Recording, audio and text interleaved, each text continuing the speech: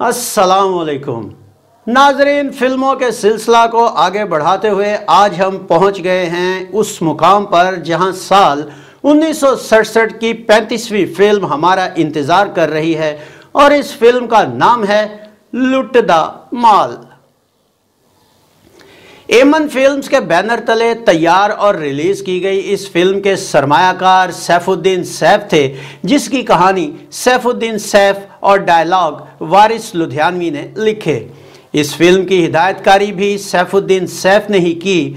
अक्सबंदी का तमाम काम एम आर अहमद ने अंजाम दिया। पंजाबी ज़ुबान की यह फ़िल्म एवरन्यू स्टूडियो लाहौर में तैयार की गई। अदाकारों के बारे में बताने से पहले मैं आपसे कहना चाहूँगा कि अगर आप हमारे चैनल पे नए हैं तो इसे सब्सक्राइब कीजिए और बेल आइकॉन को दबाने के साथ साथ ऑल के बटन पे ज़रूर क्लिक कीजिए, ताकि हमारा आने वाला हर नया वीडियो आप तक पहले पहुँचे। इस फ़िल्म में कौन कौन से अदाकार शामिल थे, आइए देखते हैं। फ़िल्म के नुमाया अदाकारों में फिरदौस अकमल मजर शाह, सलोनी, आसिफ जाह, ए शाह, रेखा, शहजाद, रंगीला, रजिया, आलिया, अलबेला चुन चुन शेख इकबाल, इमदाद हुसैन और महबूब कश्मीरी शामिल थे। इस फ़िल्म की स्टोरी क्या थी, आइए देखते हैं। फ़िल्म की कहानी गाँव के चौधरी सरदार अदाकार शहजाद और उसकी बहन ताजी अदाकारा सलोनी से शुरू होती है। सरदार जो गाँव के मुंशी अदाकार ए शाह के साथ मिलकर गाँव के लोगों को धोखे से लूटता है, इसी गाँव के एक जवान नादिर अदाकार अकमल और उसकी माँ अदाकारा रेखा के भी पैसे हड़प कर जाता है। नादिर जो मुंशी की बेटी शादा अदाकारा फिरदौस से मोहब्बत करता है, सरदार भी उसी से शादी करना चाहता है। इधर सरदार की बहन ताजी भी इलाके के मशहूर डाकू फिरोज अदाकार मजर शाह से मोहब्बत करती है। फिरोज जो हर गाँव में डाका मारता है, ताजी से मोहब्बत की वजह से उसके गाँव का रुख नहीं करता। एक बार नादिर सरदार के बद्दों से भिड़ जाता है, जिसकी वजह से सरदार और नादिर में ठन जाती है। शादा का बाप, शादा की बात नादिर से पक्की कर देता है और सरदार इस बात से और भड़क जाता है। इसी रात सरदार के आदमी नादिर के घर हमला करते हैं, जहाँ इत्तेफाक से फिरोज भी नादिर से मिलने आया होता है, जो उसका दोस्त होता है।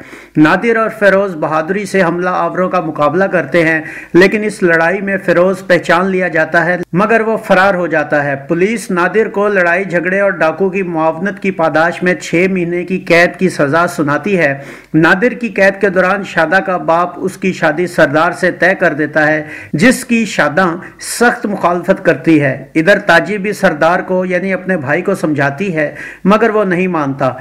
शादा जहर खाने का इरादा कर लेती है, मगर ताजी उसे आकर समझाती है और वादा करती है कि उसकी शादी अपने भाई से नहीं होने देगी। आखिर ताजी फेरोज से मिलकर इससे मदद मांगती है और फेरोज ताजी से वादा कर लेता है। शादी वाले दिन फेरोज शादा को उठाकर ले जाता है, लेकिन इसी दिन नादिर भी रिहा होकर आ जाता है। घर पहुँचने पर नादिर को शादा की शादी और अगवा का पता चलता है और वो गुस्से में फिरोज का पीछा करता है। उधर फिरोज को पुलिस घेर लेती है, लेकिन वो शादा को लेकर फरार हो जाता है। रास्ते में उसका सामना नादिर से हो जाता है। नादिर फिरोज से बिना पूछे और किसी भी बात को बिना जाने उसे गोली मार देता है। बाद में शादा उसे तमाम सूरत हाल बताती है, जिस पर नादिर बहुत शर्मिंदा होता है, लेकिन अब फिरोज मर चुका होता है। यूँ शादा और नादिर मिल जाते हैं और फ़िल्म का इख्ताम होता है। इस फ़िल्म की मौसीकी में कौन कौन से नाम शामिल थे? किसने इस फ़िल्म के गाने लिखे? किसने उन गीतों को गाया? और किस मौसीकार ने उन गीतों की धुनें तरतीब दी? आइए देखते हैं।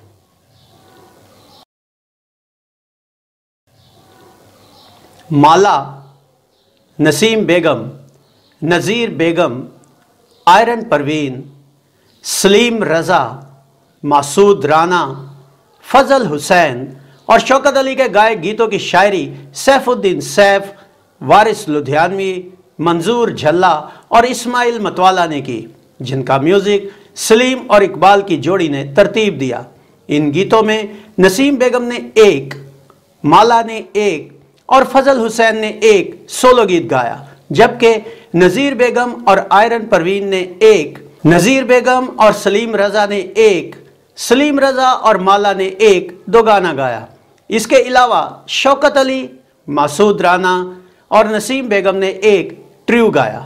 इस फ़िल्म के गाने कौन से थे? उन गानों के बोल क्या थे? किस गुलकार ने कौन सा गाना गाया? और ये गीत किन अदाकार या अदाकाराओं पर फिल्माए गए? आइए देखते हैं। सात गानों पर मुश्तमिल इस फ़िल्म में नसीम बेगम के। दिल मंगदी मैं तेथों दिल दारा जा मैं नहीं लेना नोट दस दा। ये गीत अदाकारा आलिया पर पिक्चराइज हुआ। वे दिल मंगदी मैं तेथों दिल दारा जा मैं नहीं लेना नोट दस दा। माला का हाय नी मैं वारी चूड़ा पावे छनकारे। ये गीत अदाकारा फिरदौस पर अक्सवन किया गया। चूड़ा पावे छनकारे हाय नी मैं वारी लच खावे लचकारे हाय नी मैं वारी चूड़ा पावे छनकारे लच खावे लचकारे फजल हुसैन का ना मैं मुर्दा ना मैं ज़िंदा ये गीत अदाकार आसिफ जा पर फिल्माया गया। ना मैं मुर्दा ना मैं ज़िंदा ना मैं खुश्क ते ना मैं थिंदा मैं दोवां दे विचकार ओ लोगों सुन लो मेरी पुकार माला और सलीम रजा का दिला मेरे आ किसे दे नाल प्यार ना करी ये गीत अदाकारा फिरदौस और अदाकार अकमल पर शूट हुआ ਨਾਖੀਆਂ